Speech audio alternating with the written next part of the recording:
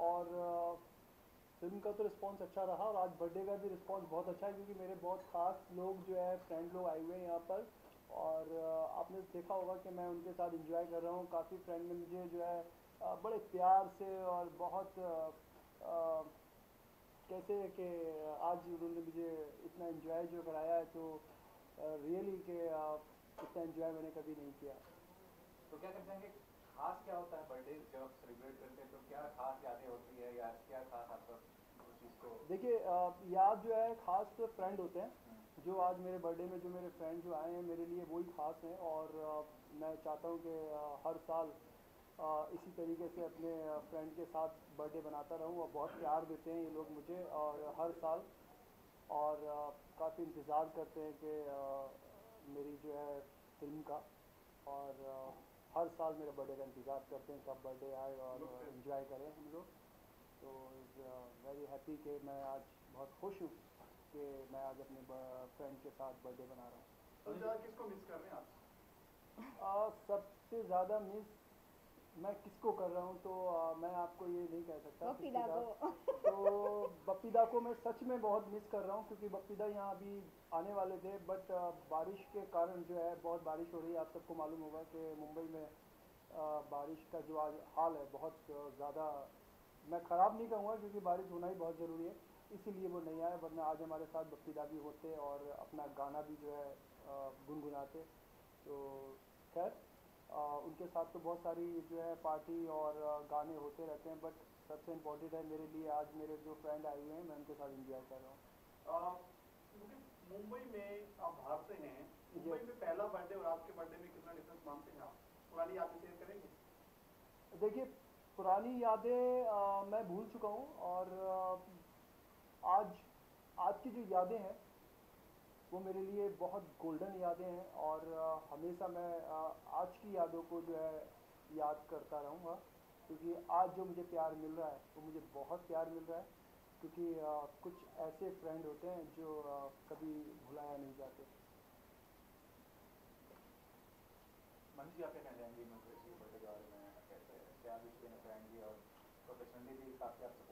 के बारे में सबसे पहले तो मैं मुकेश को बहुत बहुत बेस्ट विशेस देती हूँ कि वो ऐसे ही लाइफ में सक्सेस हों। बहुत सारे फैंस उनके बने। मुझे बहुत अच्छा लगता है जब मुकेश के फैंस बनते हैं। और मैं उसी के लिए बहुत ज़्यादा, बहुत मेहनत करती हूँ और अच्छे प्रोजेक्ट्स पे काम करने की कोशिश करती हूँ कि हर बार एक नया प्रोजेक्ट में लेकर आऊँ। और बहुत जल्द ये बर्थडे का गिफ्ट मैं मुकेश को देने वाली हूँ। एक बहुत ही अच्छी स्क्रिप्ट पे हम लोग काम कर रहे हैं, जिसका लॉन्चिंग ऑलरेडी हो चुका है। प्यार में थोड़ा ट्विस्ट और ये बहुत ही यूनिक कॉन्सेप्ट है जिस पे हम लोग काम कर रहे हैं और इसकी पूरी शूटिंग हम लोग लखनऊ में कर रहे हैं। सो so, फ़िलहाल तो इस बर्थडे के लिए यही गिफ्ट है मेरी तरफ़ से मुकेश को जिसके बाद मुकेश की पॉपुलरिटी और बढ़ जाएगी उनके फैंस और बढ़ जाएँगे और मैं यही आशा करती हूँ विश्वास करती हूँ कि हर बर्थडे पे कुछ एक नया स्पेशल गिफ्ट दूँ। तो फ़िलहाल तो प्यार में थोड़ा ट्विस्ट ये अभी हम शूट की तैयारी पर हैं और बहुत जल्द शूट करने जा रहे हैं। इसका म्यूज़िक बप्पीदा ने दिया है और आज मैं बप्पीदा को बहुत ज़्यादा मिस कर रही हूँ, क्योंकि बहुत ज़्यादा हैवी बारिश होने के कारण दादा यहाँ नहीं आ पाए। बट दादा ने हमें अपने बंगलों पे पहले ही बुला लिया था दोपहर को और दादा के साथ ऑलरेडी हम केक का केक काट चुके हैं।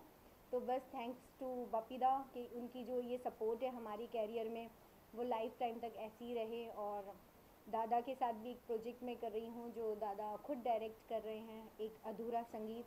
वो हम लोग दुबई में शूट शूट करने वाले हैं। तो बस उसकी प्रिपरेशन चल रही है। फ़िलहाल दादा अभी अमेरिका के लिए जा रहे हैं और अक्टूबर में जब रिटर्न आएँगे तो हम फिर अधूरा संगीत की तैयारी करेंगे। एक अधूरा संगीत। जो बपीदा पूरा करने वाले हैं। तो प्यार में जो है वो क्या विषय होगा? कौन से कलाकार होंगे? कोई जाना पहचान वगैरह होगा उस फ़िल्म में?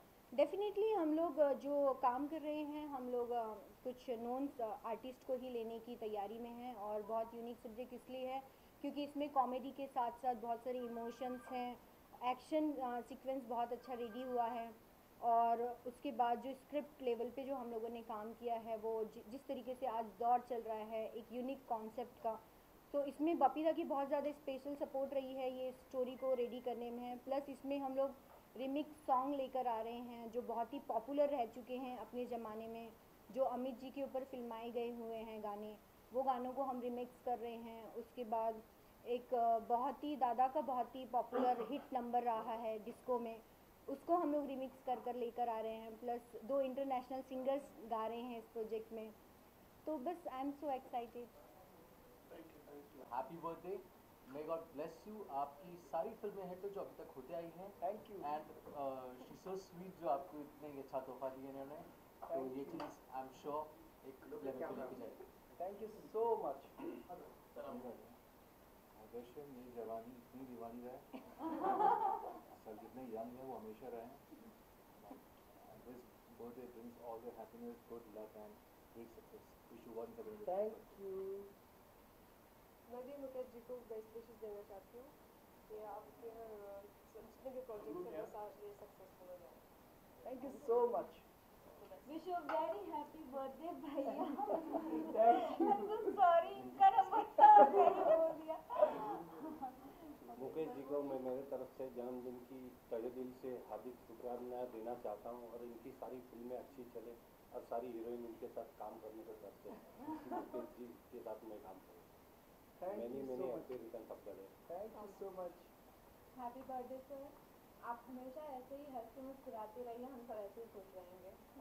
Thank you so much birthday sir stay young stay blessed thank you और हमें चाहते हैं आप लाइफ में बहुत सारी फ़िल्में करें हैप्पी थैंक यू और आप मेरे साथ और आप लोग मेरे साथ ऐसे ही रहिएगा।